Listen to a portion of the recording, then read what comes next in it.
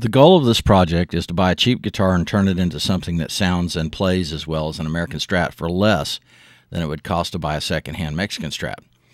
I started with a Squier Affinity Strat that needed a bit of cleaning and setup.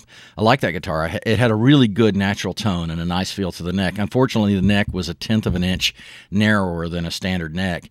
And with my really large hands, that was a problem, especially switching back to other guitars after playing that. I then bought a Squier Strat SE that comes with the Start Playing kit.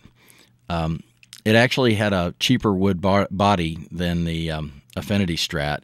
Uh, it had an Agathis body instead of um, an alder body. Didn't sound as good straight out of the box, but it had a full width neck. Um, the idea there was that I would switch the neck with the Affinity Strat and keep the alder body with the Affinity Strat. That didn't work out very well because uh, one guitar was made in Indonesia, the Affinity Strat, and the other um, SE was made in China, and the neck pockets weren't really identical. They, they didn't match up very well. I decided then to keep the Squier SE and see if I could improve the tone by setting the neck. After a little more research, I determined that setting the neck with a tenon or a dovetail wasn't very practical. A better option would be to glass or epoxy bed the neck into the body like a gunsmith would do to the barrel of a rifle. In theory, having a solid contact between the neck and the body would make it act more like a single piece of wood and improve the tone.